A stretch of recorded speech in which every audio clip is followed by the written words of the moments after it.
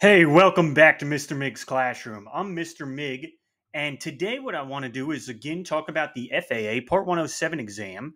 Specifically, what I want to do, as you can see from my screen here, is I want to um, I want to talk about flashcards. I want to help you all make some flashcards. I've talked about this in previous videos, what you could do to help make yourself successful for the Part 107 exam. So today I'm going to go through about 15 flashcards I recommend you make. Then I'll do a few other videos where I talk about a few more uh, flashcards. So let's get right to it and start making some flashcards. so over here, you'll see I have the front. I'm just doing this real basic, real simple, nothing crazy. Just here's the flashcard you should make. You get a old fashioned, you know, four by six index card.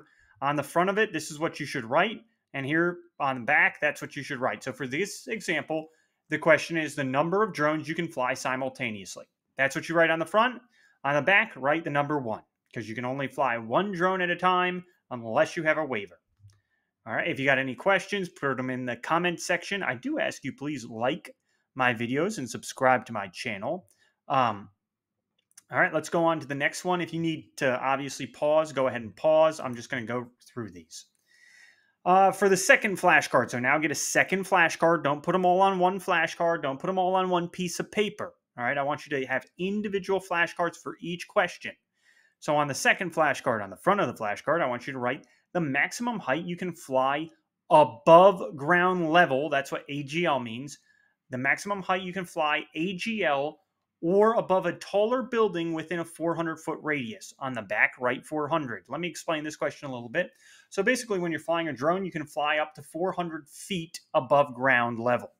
If you're over a tall building, you can fly an additional 400 feet over that building as long as you are within 400 feet of that building or tower or whatever that uh, thing is that you're flying over. So, for example, if there's a radio tower that you're flying over to inspect, say you need to inspect the top of the radio tower, and the radio tower is 700 feet tall. You're allowed to, in that situation, without additional waiver, depending on where you're at, right? Depending on what uh, airspace you're in. But let's assume you're in class Golf airspace. In that situation, with a 700 foot tall radio tower, you can fly as high as 1,100 feet because you can fly 400 feet over that radio tower without any special waiver. Um, again, if you need more time to write these down on your flashcards, go ahead and write them down. I'm going to go to the next flashcard.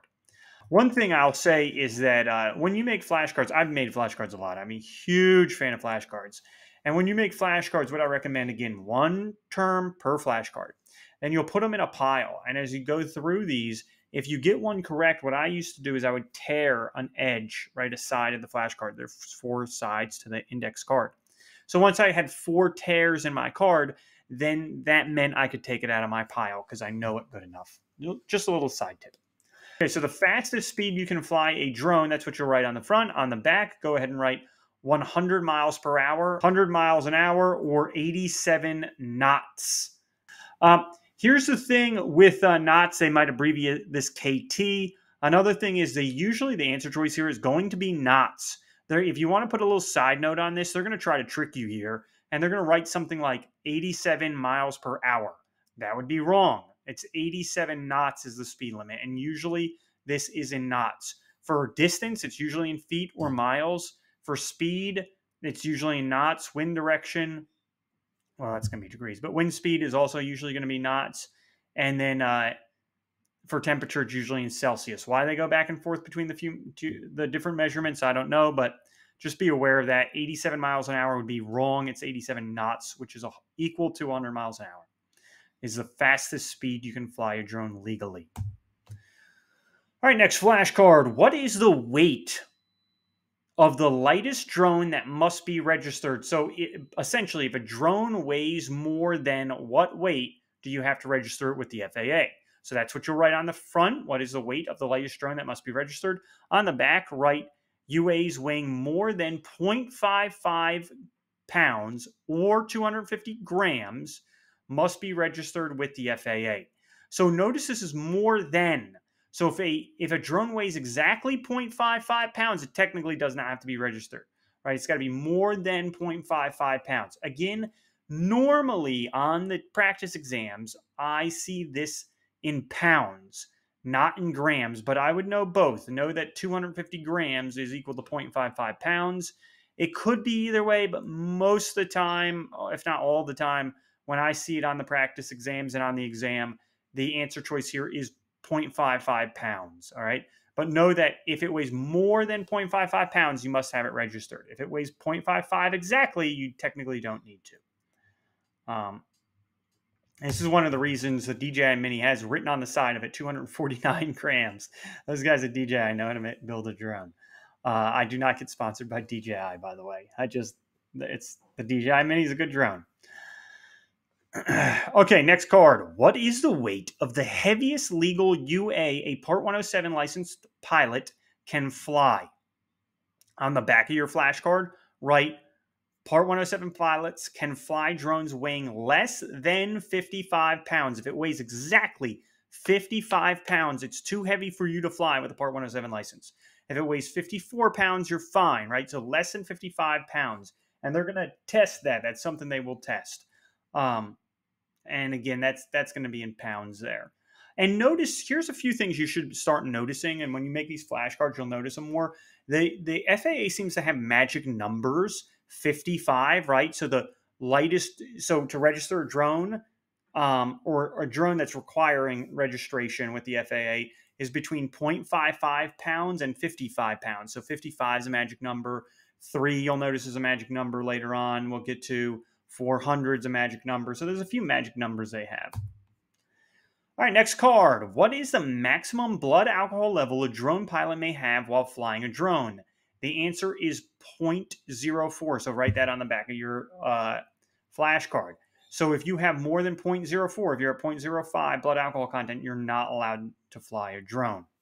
All right. If you need to pause this, pause this. Otherwise, I'm going to move on. All right. Next question related to the last one or next flashcard. How much time must pass between having an alcoholic drink and flying a UA?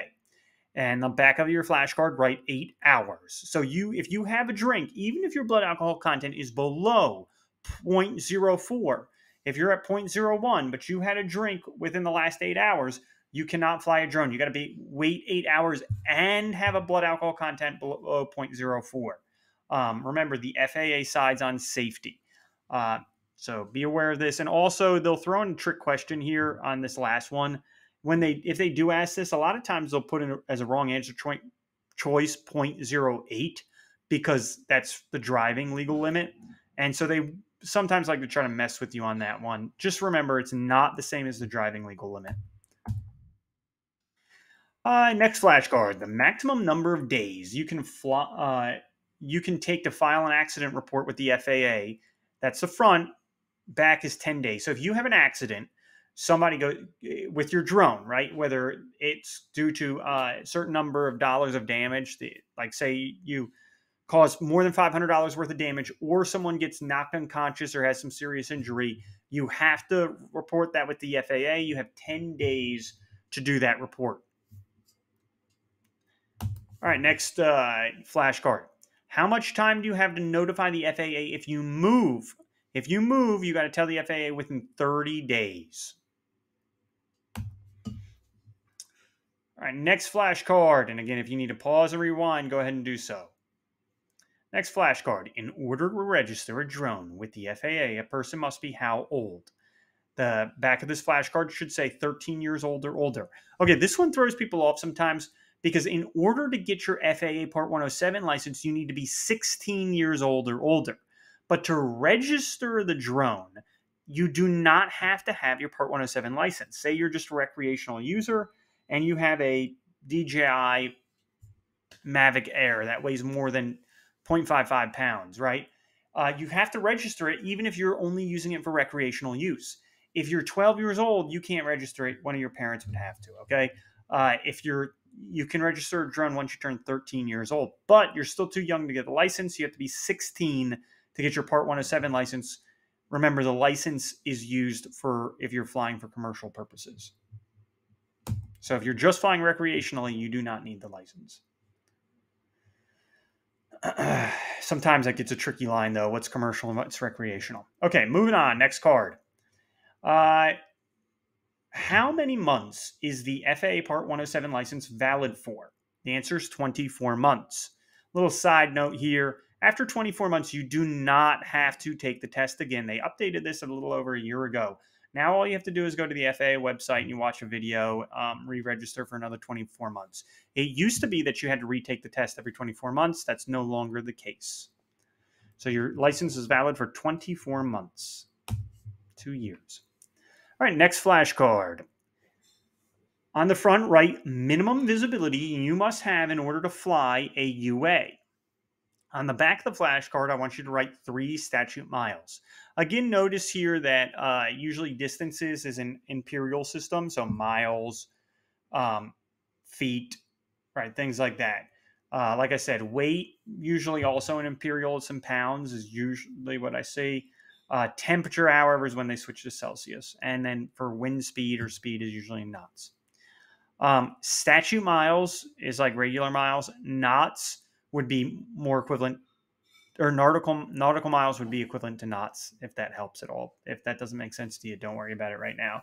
We will talk about that in other videos if you haven't seen the other videos. All right, let's move on to the next flashcard.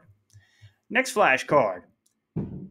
Minimum number of feet you must be vertically below a cloud when flying a UA. So, how far beneath a cloud must you be at the minimum? And the answer is 500 feet. So, write that on the back of the card. You can't be you have to be at least 500 feet below a cloud when you're flying your UA. So if, if the cloud base say say the lowest clouds or their their lowest clouds are 400 feet, then uh, you can't fly that day, right? Or 500 feet, you can't fly that day because you got to be 500 feet below it. So if you want to fly up to 400 feet, then the clouds have to be at least 900 feet tall or high, 900 feet high. All right, wrapping up here, uh, a couple more cards minimum number of feet horizontally from a cloud you must fly. So when you're flying your UA, you have to be 2,000 feet horizontally from a cloud. I know for flatlanders like me, this one doesn't make a whole lot of sense. This is not saying that like if a cloud's 40,000 feet up, but directly above you, you can't fly because it's not 2,000 feet horizontally away from you. No, no, no, that's not what it is talking about. Think of being in the mountains when clouds could be at your level. If that's the case, the, the clouds are at your same height then same elevation, then they need to be 2,000 feet away. This way, an airplane's not flying through the cloud, you don't see it, and then it runs into your drone. They don't want that happening. So horizontally, clouds must be 2,000 feet away from you. All right, next card. Repair cost of accident damage that requires you to report an accident to the FAA. So if you if your damage exceeds $500, so say you run into somebody's car and it causes damage, and it causes more than $500 worth of damage, you have to report that to the FAA.